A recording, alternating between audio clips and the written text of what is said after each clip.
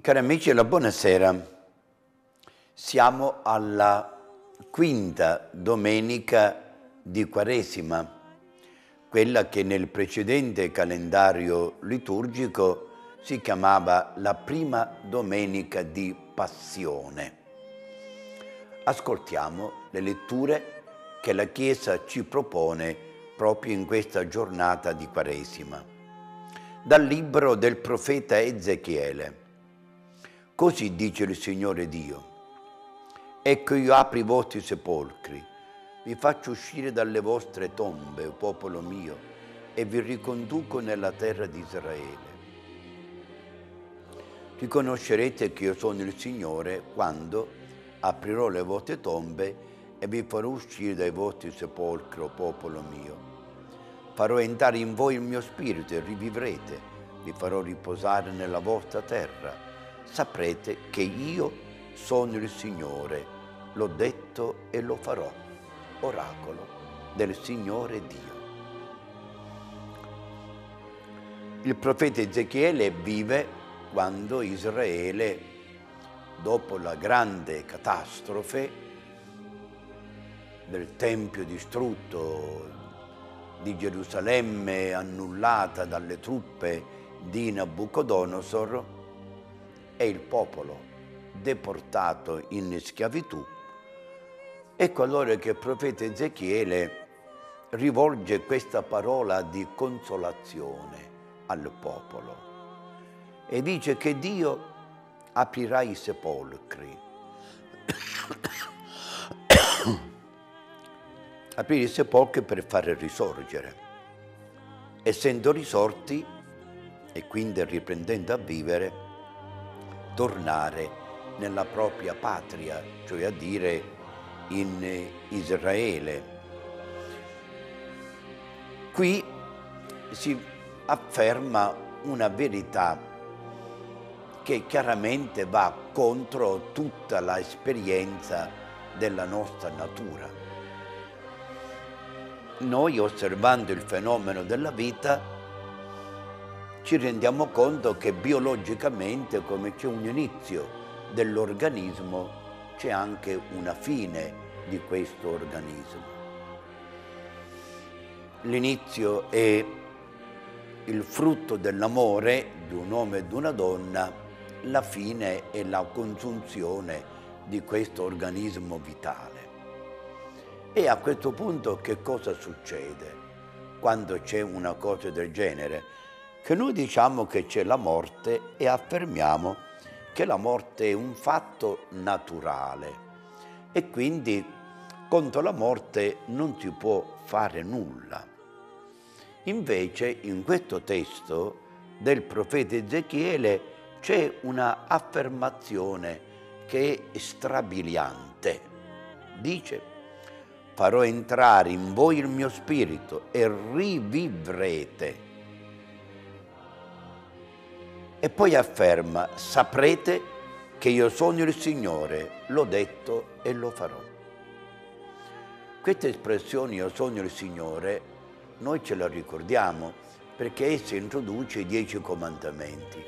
Io sono il Signore, Dio tuo, non avrai altro Dio all'infuori di me, non pronuncerai il mio nome in vano e così via, tutti e dieci comandamenti, i quali sono il riflesso della signoria di Dio. Io sono il Signore. E come tale Dio è Signore, cioè dominatore, padrone, se vogliamo, e della vita e della morte. Per cui di fronte ai viventi Dio non è impotente, di fronte alla morte Dio non è impotente impotente, anzi la sua potenza arriva al massimo perché non si lascia vincere dalla legge naturale e fa affermare la legge del suo amore. Voi rivivrete. Farò entrare in voi il mio spirito. E qui certamente noi ricordiamo il libro della Genesi quando proprio sul corpo esanime di Adamo, Dio soffia il suo spirito vitale e Adamo diventa vivo. Ecco allora che la vita è direttamente legata a Dio nella sua origine e quindi anche nella sua restituzione. A questo punto non è la morte l'ultima parola della storia, ma l'ultima parola della storia è la risurrezione. Passiamo adesso, miei cari amici, alla seconda lettura. Leggiamo dalla fine della prima parte della lettera di San Paolo Apostolo ai Romani. Stiamo leggendo al capitolo ottavo. Dice così, fratelli, quelli che si lasciano dominare dalla carne non possono piacere a Dio. Voi però non siete sotto il dominio della carne, ma dello Spirito, dal momento che lo Spirito di Dio abita in voi. Se qualcuno non ha lo Spirito di Cristo, non gli appartiene. Ora, se Cristo è in voi, il vostro corpo è morto per il peccato, ma lo Spirito è vita per la giustizia. E se lo Spirito di Dio che ha risuscitato Gesù dai morti abita in voi, colui che ha risuscitato Cristo dai morti darà la vita anche ai vostri corpi mortali per mezzo del suo Spirito che abita in voi. Si vede chiaro che qui noi abbiamo una ripresa della parola del profeta Ezechiele quando dice farò entrare in voi il mio spirito e rivivrete. E così in questa lettura San Paolo ci ricorda che lo spirito di Dio abita in noi e quindi non c'è bisogno che esso rientri perché abita in noi. Da questo testo di San Paolo noi vogliamo ricevere due insegnamenti. Dico il primo, quelli che si lasciano dominare dalla carne non possono piacere a Dio. Cosa vuol dire si lasciano dominare dalla carne? E, miei cari amici, l'indicazione di una maniera di vivere. Quale? Se io vivo per il piacere, allora è chiaro che io sono dominato dalla carne, perché lo scopo della mia vita è proprio questo, cercare e provare il maggior numero possibile di piaceri. I piaceri, diciamo, sono di tre generi, se si vuole almeno dico i piaceri che sono peccaminosi, quelli che rendono impossibile piacere a Dio. C'è il piacere della sessualità, quando la ricerca del piacere è sganciata dall'amore.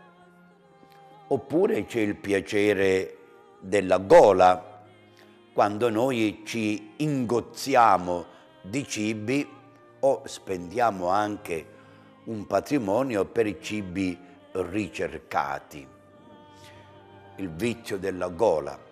E contro questi due vizi c'è una virtù, la virtù della temperanza, una delle quattro virtù cardinali.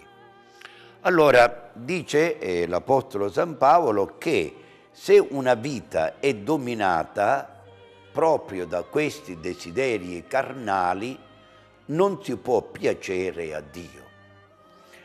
Obiettivamente non è solo questo che impedisce il piacere a Dio, perché c'è qualcosa anche che di per sé non è carnale, ma come tutto ciò che è carnale è profondamente egoistico.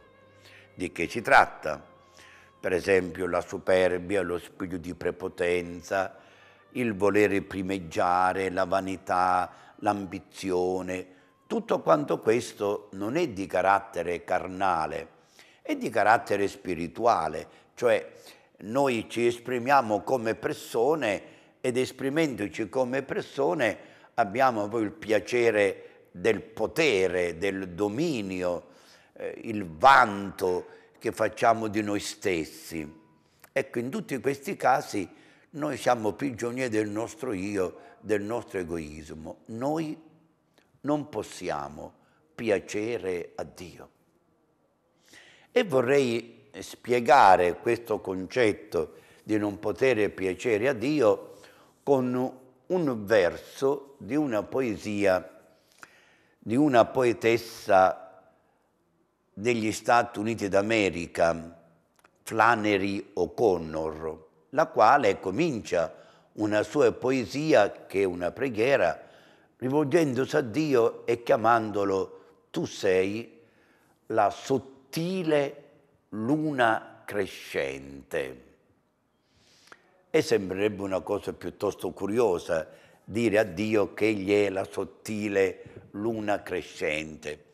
Invece è profondamente significativo, perché nella mentalità della poetessa Flannery O'Connor, quella mh, luna vista soltanto per un filino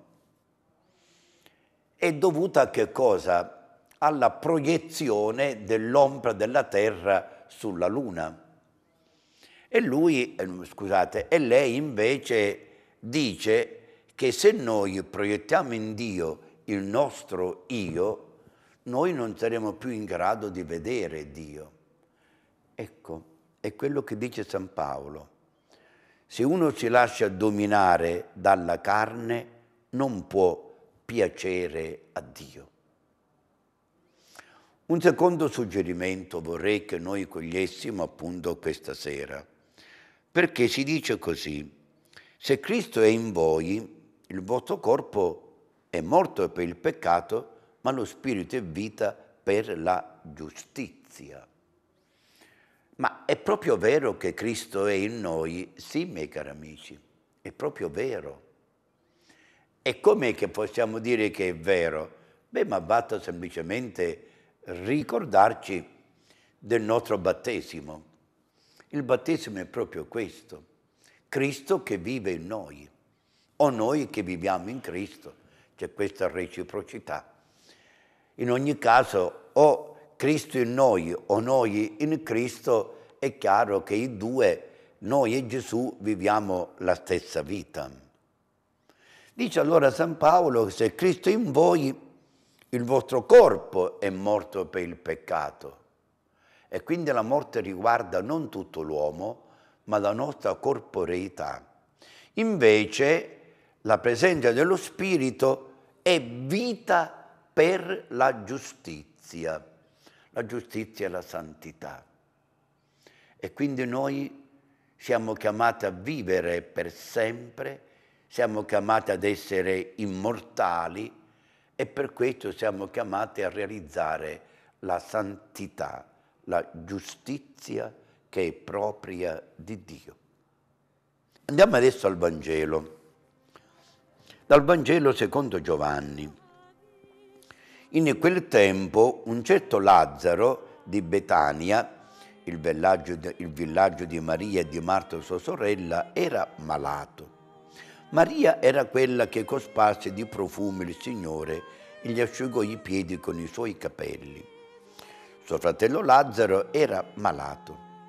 Le sorelle mandarono dunque a dire a Gesù, Signore, ecco colui che tu ami è malato. All'udire questo Gesù disse, questa malattia non porterà alla morte, ma è per la gloria di Dio, affinché per mezzo di essa il Figlio di Dio venga glorificato. Gesù amava Marta e sua sorella e Lazzaro. Quando sentì che era malato, rimase per due giorni nel luogo dove si trovava. Poi disse ai discepoli, andiamo di nuovo in Giudea. I discepoli gli dissero, Rabbi, poco fa i giudei cercavano di lapidarti e tu ci vai di nuovo? Gesù rispose, non sono forse dodici le ore del giorno? Se uno cammina di giorno non inciampa perché vede la luce di questo mondo, ma se cammina di notte inciampa perché la luce non è in lui. Disse queste cose e poi soggiunse loro, Lazzaro, il nostro amico, si è addormentato, ma io vado a svegliarlo. Gli disse allora i discepoli, Signore, se si è addormentato si salverà. Gesù aveva parlato della morte di lui. Essi invece pensarono che parlasse del riposo del sonno. Allora Gesù disse loro apertamente, Lazzaro è morto ed io sono contento per voi di non essere stato là affinché voi crediate, ma andiamo da lui. Allora Tommaso, chiamato Didimo, disse agli altri discepoli, andiamo anche noi a morire con lui. Quando Gesù arrivò, trovò Lazzaro che già da quattro giorni era nei, nel sepolcro. Betania distava da Gerusalemme meno di tre chilometri e molti giudei erano venuti da Marta e Maria a consolarle per il fratello.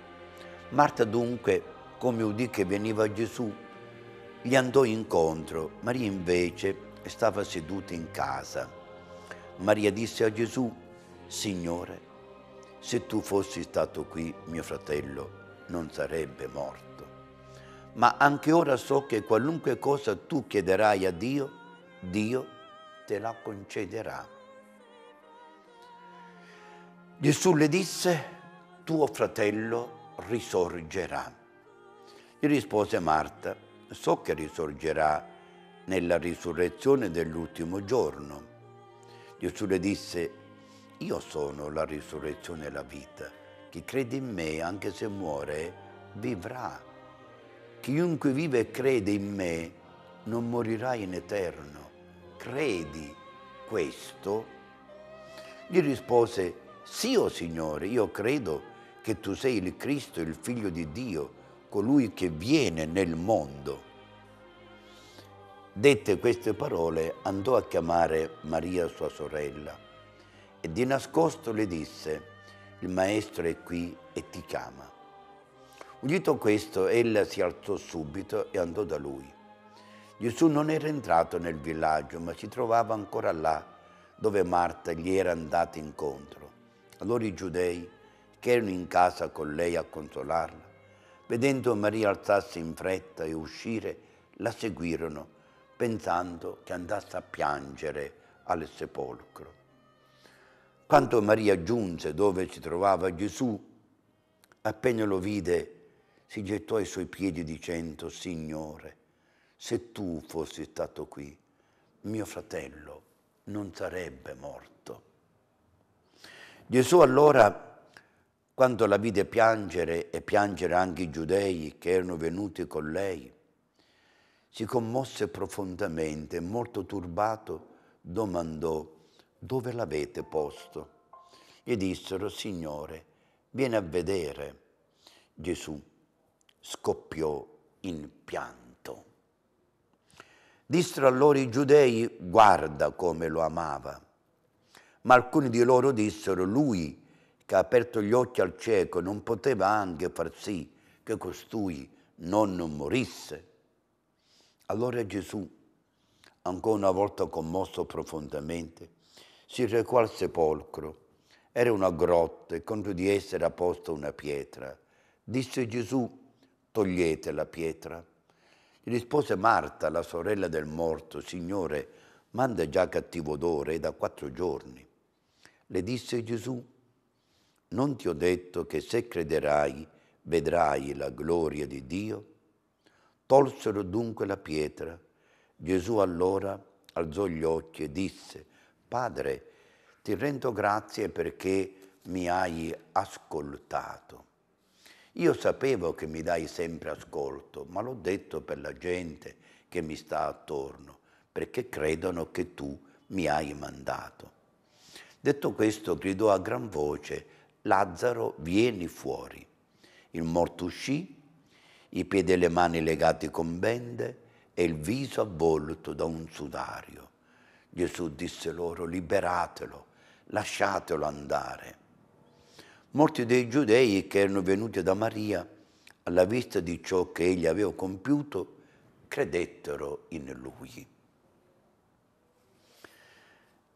Questo prodigio, questo miracolo è molto famoso. Lazzaro viene fuori e il morto riprende a vivere. È la logica conclusione di quello che c'è nella prima lettura e nella seconda. Farò rientrare in voi il mio spirito e voi rivivrete. Lo spirito è vita per la giustizia e lo spirito abita in voi. Ecco allora che la presenza di Gesù segna il trionfo di quella vita che proviene dallo Spirito Santo. Questo fatto, questo fatto, miei cari amici, rilumina il nostro futuro. Il nostro futuro non è nella morte, non è nella fine, no. Il nostro futuro è nella risurrezione. Diciamo in questa maniera se vogliamo l'ultimo giorno dell'anno non sarà il venerdì santo, l'ultimo giorno sarà la domenica di risurrezione. La vita non si conclude con la morte, ma la vita si concluderà con la ripresa della vita, una vita più elevata, la vita eterna propria di Dio. Essere religiosi essere cristiani è proprio vivere con questa speranza che è certezza. D'altro canto, partiamo da un'idea centrale nella Bibbia. Vero o falso che Dio ci ha creato perché ci ha amato? Certo. Ed allora se noi siamo creati da Dio perché amati, ne deriva, miei cari amici, che Dio non può perdere coloro che ama. Ecco perché c'è la risurrezione per la vita eterna. È il frutto dell'amore di Dio che non vuole perdere noi suoi figli. Ed ora, miei cari amici, desidero che voi consideriate queste immagini. Si parla in queste immagini di San Bernardo e parlando di San Bernardo è chiaro che si parla dell'abbazia di Caravalle, dell'abbazia di Citeaux, dove deriva la parola cistercensi, perché la parola la francese Citeaux corrisponde al latino cistercium. Di che cosa si tratta? Ecco le immagini che voi vedete, per esempio questa immagine bella grande, fa vedere San Bernardo al centro ed ha sotto il suo dominio un diavolo ed ha al suo fianco dei papi. Ci sono persone di santa vita. Che cosa dice questa immagine. Dice, dice che San Bernardo è stato al centro di tutta una vicenda della Chiesa in cui l'idea centrale dominante è proprio questa idea della riforma della Chiesa, cioè dire una Chiesa che deve poter vivere nella fede e della fede di Gesù. Vediamo di dire un pochino gli estremi della sua vita. È nato nel 1090, nato nel 1090, verrà a morire nell'anno 1153. Quindi quando muore San Bernardo ha 63 anni. Qual è stato l'avvenimento, diremmo, determinante per la sua identità spirituale? Stato il fatto che eh, all'incirca verso i vent'anni lui decide di farsi monaco. Ma non è una decisione solitaria, è una decisione condivisa da circa 30 persone del suo ambiente familiare e delle sue amicizie. Tutte e 30 insieme con lui vanno proprio a Sito, a Cistercium, per chiedere di diventare monaci benedettini. Che cos'era questa abbazia di Sito o in latino Cistercium? Era un'abbazia fondata da un santo, San Roberto di Molesme, il quale apparteneva all'abbazia di Cluny, ma dalla quale si era distaccato ed avrà come eh, seguace, come successore, un altro santo, il beato Alberico, il quale avrà come successore un terzo, che è anche lui santo, e che si chiama appunto Santo Stefano Harding. Allora, Cistercium è fondata da tre santi, Roberto, Alberico e Stefano. E Stefano colui che accoglie San Bernardo nell'abbazia. Come vive questa abbazia cistercense? Vive riprendendo la regola benedettina della preghiera e del lavoro, lavoro manuale, cioè i monaci lavorano la terra o sono artigiani. Con questo lavoro della terra e dell'artigianato i monaci provvedono alla loro vita e a tutte le opere di carità di cui il monastero è appunto promotore. Ecco allora che questo modo di vivere ha rinnovato, cambiato, riformato quello che c'era a Cluny, dove i monaci si erano dedicati molto di più all'attività del culto, della liturgia, il canto gregoriano, le cerimonie in chiesa e poi vivevano di rendita perché i possedimenti dell'abbazia venivano lavorati dai contadini. Invece qui a Cistercium il monaco non è un redditiero, ma il monaco è un lavoratore.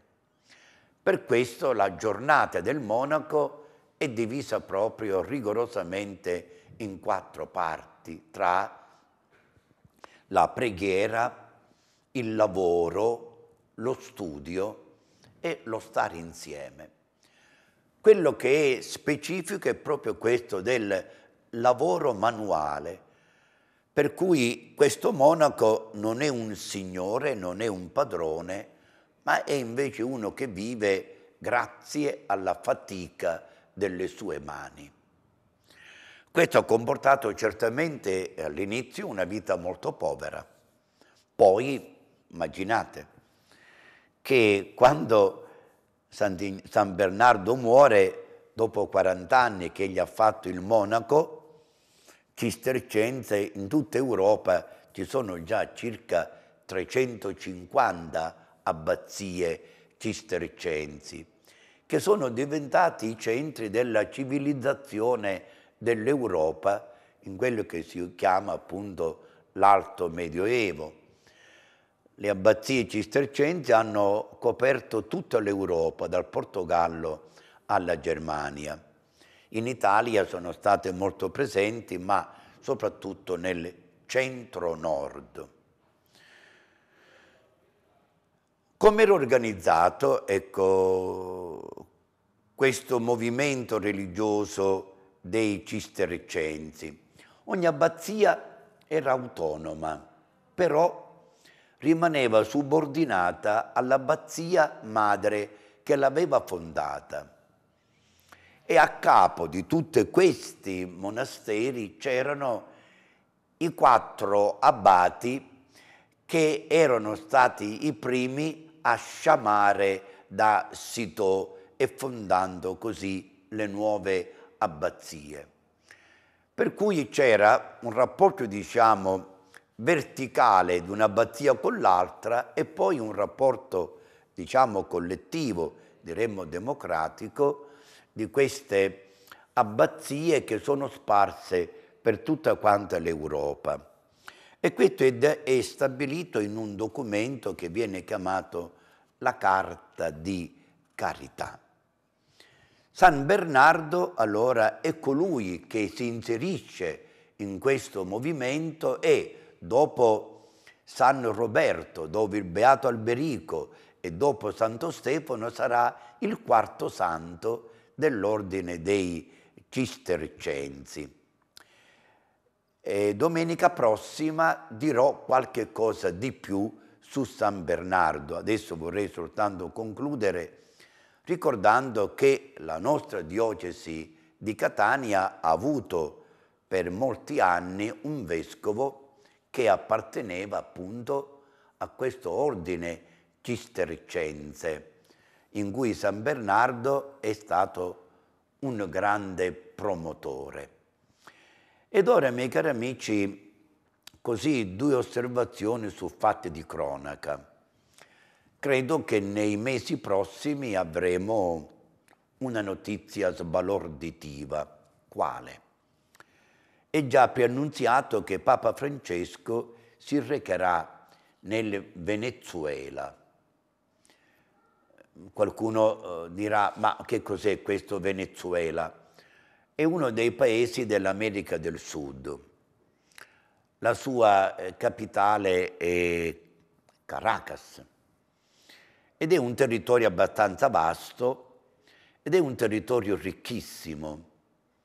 La principale ricchezza di questo territorio è il, petro è il petrolio. E questo petrolio è la ricchezza ed anche la miseria di questo paese. Cerco di spiegarmi. Dato che c'è la ricchezza del petrolio, il governo ha pensato di distribuire i proventi della vendita del petrolio agli abitanti, ai venezuelani, stabilendo una gerarchia, una graduatoria per cui tutti avrebbero dovuto avere il necessario e alcuni avrebbero avuto più del necessario a seconda dei ruoli che svolgevano. Cioè il petrolio è diventato come se fosse il denaro questo a che cosa ha portato? Ha portato a un venir meno delle attività produttive e quindi la gente si è abituata a vivere con l'assegno derivante dal petrolio. Può bastare una cosa del genere? No. Ed ecco allora che nel Venezuela si è scatenata una guerra di tutti contro tutti. Nessuno è soddisfatto di quello che riceve. Ognuno vuole avere di più perché fa il paragone con l'altro, perché quello di più e io di meno. Lo Stato non può dare di più perché il petrolio che si vende è quello e di qui la guerra civile, di qui i disordini, di qui la svalutazione. Pensate che in un solo anno il Bolivar, che è la moneta del Venezuela, si è svalutato del 450%. Chi è stato a capo di questo governo del Venezuela negli ultimi anni è stato Chavez ed ecco perché l'ideologia viene chiamata chavismo. E Chavez in fondo era uno che la pensava alla maniera socialista, o comunista se vogliamo, insomma un uomo di sinistra. E quindi la gente chiamata a votare a un certo punto ha votato contro l'attuale presidente che è stato il successore di Chavez che era morto per un tumore maduro. Il presidente si trova così ad avere un Parlamento maggioritario contro di lui. Cosa fa il presidente? Arresta questi deputati e quindi sospende l'efficacia del Parlamento con tutto quello che ne segue di disordini nella società. A questo punto la Chiesa venezuelana si è data da fare per superare questa crisi che da economica è diventata crisi sociale e quindi che porterebbe alla distruzione dello Stato. Sono stati chiesti i buoni uffici di Papa Francesco. Cioè i venezuelani hanno detto al Papa vieni e aiutaci a risolvere questa crisi. Il Papa ha accettato. Ed ecco che in questo tempo ci sono degli ecclesiastici italiani che sono andati in Venezuela a nome del Papa e i vescovi del Venezuela che si riuniscono insieme ai politici per trovare le soluzioni. Che cosa dire di fronte a un fatto del genere? Noi ci auguriamo che il Papa abbia successo, perché in un paese dove c'è questa grande ricchezza del petrolio e c'è invece questa totale miseria della gente, questo chiaramente ci fa pensare. Ci deve essere più di qualcosa che non funziona. Facendo un paragone con la storia, mi viene da ripensare a quando la Spagna era ricchissima perché arrivavano i galeoni carichi di oro e di argento dall'America del Sud. Ma la Spagna sostenne un'infinità di guerre in quel periodo, non tanto per il bene della Spagna quanto per il bene della cristianità. E quindi tutto quel denaro, quell'oro, quei metalli preziosi non servirono per sviluppare il lavoro ma per fare le guerre. Ecco perché la Spagna, dopo di questo siglo d'oro, che il 1500 e 1600, avrà una decadenza che è durata sino alla seconda guerra mondiale. Oggi la Spagna ha ripreso energia e ci dà dei punti come, come benessere. Un secondo elemento vorrei farvi conoscere. State vedendo il giornale che io sto leggendo, vi sono tre lettere che sono state mandate al Corriere della Sera alle quali risponde Aldo Cazzullo. Vi leggo le lettere. La prima è una domanda. Quale malessere vivono quei ragazzi per trovare soddisfazione nel violentare un loro coetaneo? Seconda lettera. Chissà qual è stata la motivazione del sedicenne rette il fatto che il ragazzo ha tolto la vita a chi gli ha dato la vita e a chi gli dava da vivere, ha ucciso i genitori. Terza lettera, che il bullismo abbia superato ogni limite lo dimostra la violenza gratuita contro un ragazzo di 20 anni. Tre lettere, il malessere della gioventù. Come mai siamo in questa situazione? Vi leggo la risposta. L'esibizio sul tredicenne di Giuliano Napoli, il parricidio di Selvazzano Padova, il lingiaggio di Alatri Frosinone hanno ferito la sensibilità di, di migliaia di lettori, a giudicare dai messaggi arrivati via mail e attraverso i social. Sono tre episodi ovviamente diversi, ma segnano un degrado morale che spaventa, perché hanno una cosa in comune torturatori e assassini sono giovani, talora, talora giovanissimi. Come ha detto il vescovo di Anagni e Alatri, Monsignor Lorenzo Loppa, si è perso il senso della comunità. Le radici del rancore sono seminate come spazzatura ovunque.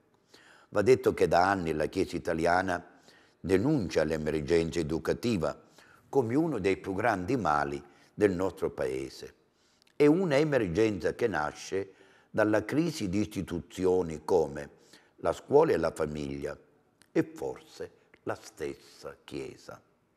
Colpisce che tutto avvenga in pubblico. Il pestaggio di Emanuele Morganti è avvenuto davanti alle telecamere di sorveglianza. La rete è a volte scelta per amplificare le gesta degli aggressori.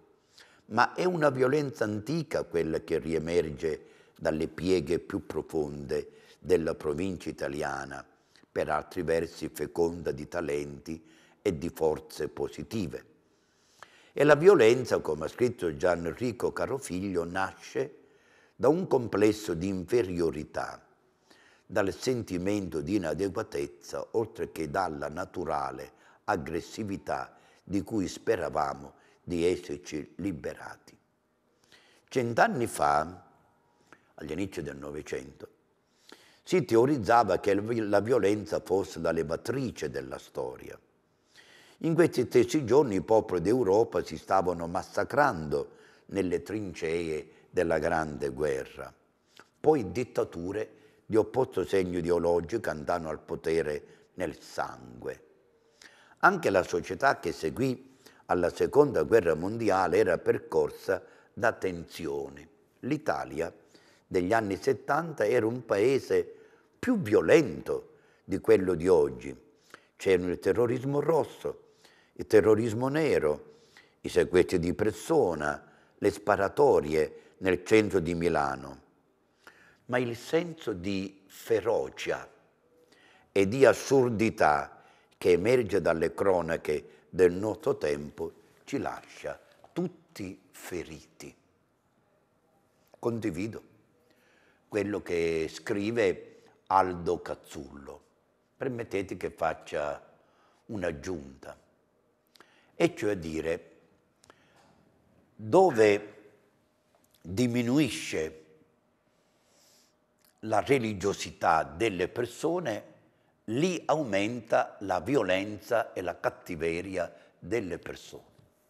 Allora io traggo questa conclusione se noi sviluppiamo la religiosità delle persone, noi allontaniamo la violenza, cioè la religione è utile, meglio, la religione è necessaria, indispensabile per la formazione di un uomo.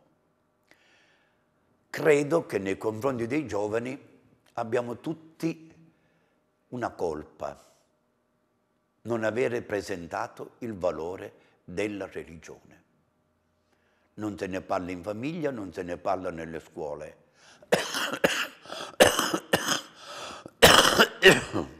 I ragazzi vivono come sradicati da questo humus di carattere religioso. Dobbiamo cambiare al più presto.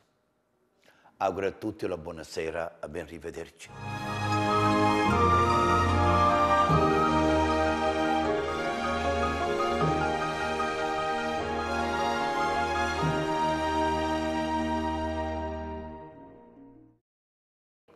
Salve, oggi parleremo di una santa che ha svolto un ruolo fondamentale nella storia della Chiesa.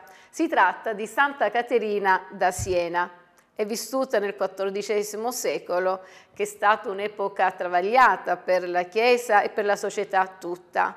Però possiamo dire che proprio nei momenti di maggiore difficoltà il Signore suscita dei santi e delle sante capaci di scuotere le menti, di chiamare, di provocare eh, la conversione il rinnovamento. Caterina è una santa che ancora oggi ci parla e ci spinge a camminare con coraggio e determinazione verso la santità. È nata a Siena nel 1347 da una famiglia molto numerosa, aveva tanti fratelli e tante sorelle. A 16 anni decide di entrare nel terzordine domenicano, nel ramo femminile chiamato delle mantellate, appunto per via di questo mantello grande nero che indossavano. E quindi rimase in famiglia Eppure, nonostante questo, confermò il voto di verginità che aveva fatto da adolescente e si dedicò alla preghiera, alla penitenza e alle opere di carità, soprattutto all'assistenza degli ammalati. Svolse inoltre una intensa attività di consigliera spirituale per tutte le categorie di persone. Per esempio, eh, consigliò eh, i nobili, gli uomini politici, i popolani, eh, gli ecclesiastici, esortò con molta fermezza Gregorio XI, che allora risiedeva ad Avignone, eh, in modo che tornasse a Roma.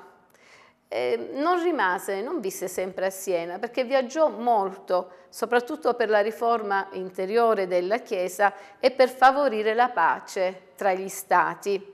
Giovanni Paolo II l'ha dichiarata proprio per questo motivo compatrona d'Europa.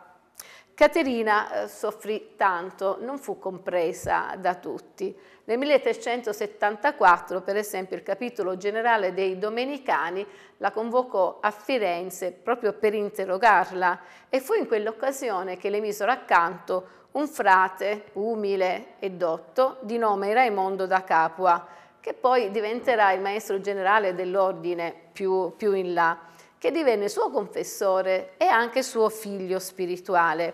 È stato lui a scrivere la prima biografia completa della santa. E Caterina eh, non, era, non aveva compiuto molti studi, leggeva con difficoltà, imparò a scrivere da grande, proprio da adulta. La sua dottrina è contenuta in un libro intitolato Dialogo della Divina Provvidenza, poi c'è il suo epistolario e infine le preghiere. Paolo VI l'ha dichiarata dottore della Chiesa. In una visione la Madonna la presentò a Gesù che le donò un anello bellissimo, splendido e le disse io ti sposo nella fede che conserverai pura fino a quando celebrerai con me nel cielo le tue nozze eterne. Quindi possiamo capire da questa, da questa visione che il cuore, il centro, il fulcro della religiosità di Caterina proprio è Cristo. Si parla di cristocentrismo, Cristo è al centro della sua vita e per lei come lo sposo. E con lo sposo c'è un rapporto di intimità, di fiducia, di comunione, di fedeltà.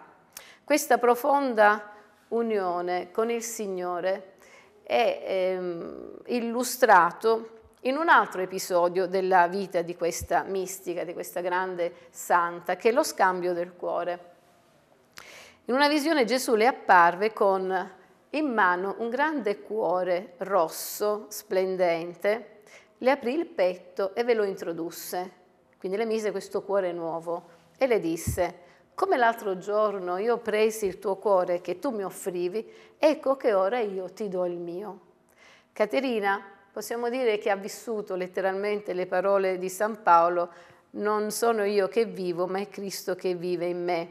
Ma in fondo ogni credente, ogni vero credente sente il bisogno di uniformarsi ai sentimenti del cuore di Gesù, in modo da poter amare gli altri, i fratelli, il prossimo, come Gesù eh, stesso ci ama, come ama ciascuno di noi.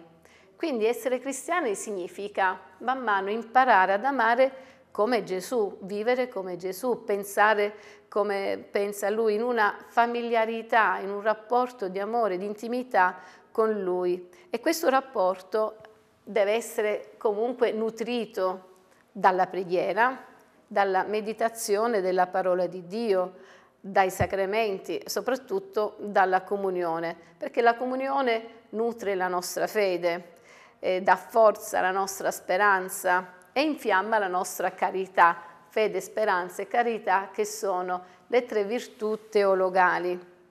Attorno a Caterina si formò eh, una famiglia spirituale, cioè delle persone, si riunirono delle persone che erano affascinate dall'autorevolezza morale di questa giovane donna e soprattutto dai fenomeni mistici, eh, come per esempio le frequenti estasi. Molti eh, si misero al suo servizio, tanti la chiamavano con il nome di, di mamma, come appunto considerandosi dei figli spirituali. E ancora oggi tante donne, donne consacrate, donne laiche, esercitano proprio questa forma di maternità tutta particolare che è la maternità spirituale. eh, rafforzando la fede della, della gente. Lei scriverà a questo proposito, figli vi chiamo, in quanto io vi partorisco con continue orazioni, quindi con continue preghiere e desiderio nel cospetto di Dio, così come una madre partorisce il figlio. Un altro tratto della spiritualità propria di Caterina da Siena è legato al dono delle lacrime che lei aveva. E, ehm, quindi una, quest, queste lacrime che cosa indicano? Indicano la sensibilità della sua anima, la sua capacità di mh, commozione, la sua grande tenerezza.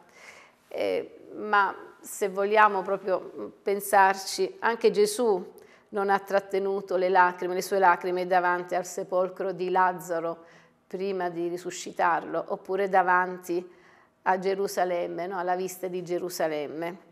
Secondo Caterina, le lacrime, le lacrime dei santi, si mescolano al sangue di, eh, di Cristo, di Gesù, che ci salva.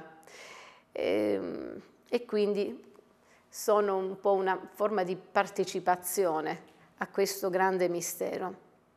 Eh, Santa Caterina inoltre aveva una grande devozione per, per, la Chiesa tutta, per i sacerdoti in particolare. Non è che non fosse consapevole eh, degli eventuali limiti, dei difetti dei, dei sacerdoti, però era consapevole dell'importanza della loro funzione, perché in fondo i sacerdoti dispensano attraverso i sacramenti e la parola la forza salvifica di Gesù, del suo sangue. E, e poi Santa Caterina invita spesso i sacerdoti ad essere fedeli proprio alla loro responsabilità. Da Santa Caterina noi oggi cosa possiamo imparare? Sicuramente possiamo imparare la cosa più importante, la più essenziale, la scienza più sublime, conoscere e amare Gesù e la sua Chiesa. Nel dialogo della Divina Provvidenza, lei descrive Cristo come una specie di ponte tra il cielo e la terra, perché Gesù unisce il cielo e la terra, essendo veramente Dio ed essendo veramente uomo. E questo ponte eh, ci permette appunto di arrivare in cielo attraverso tre tappe fondamentali. La prima tappa è il distacco dal peccato, quindi la prima cosa da esercizio no? da, da compiere, la prima esperienza da vivere. Seconda tappa è la pratica della virtù e dell'amore. La terza tappa è l'unione con Dio. Quindi anche noi impariamo ad amare Cristo, impariamo ad amare la Chiesa. E mm, vi lascio con una breve riflessione di Santa Caterina a proposito della misericordia di Gesù. Lei scrive, per misericordia ci hai lavati nel sangue, quindi per misericordia, per amore nostro Gesù è morto in croce. Per misericordia volesti conversare con le creature, quindi per amore nostro, per misericordia, Gesù si è incarnato. O oh, pazzo d'amore, non ti bastò incarnarti, ma volesti anche morire. Poi conclude scrivendo, dovunque io mi volga a pensare, non trovo che misericordia. Grazie a tutti dell'attenzione e arrivederci.